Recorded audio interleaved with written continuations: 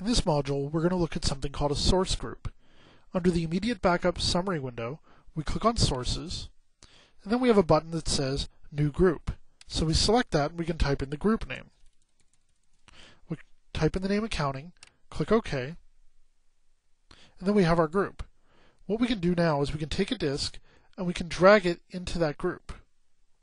Retrospect will then display that item for us as an alias. If we select that group and click OK, Retrospect will then copy all of the disks that are available in that group. We can also remove items from the group by highlighting them and pushing delete on the keyboard.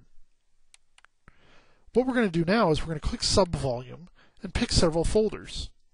We're going to shift click on a few folders and click define.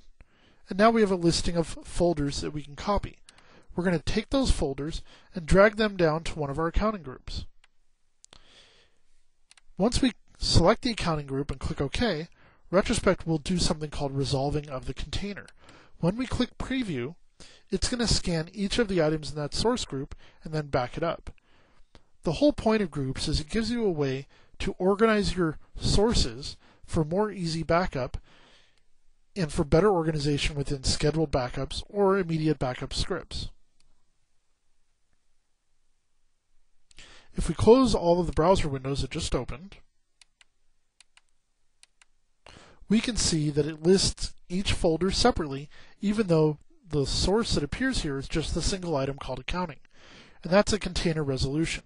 It allows us to add additional items to the source group without having to modify either your scheduled backup script or in this case the immediate backup.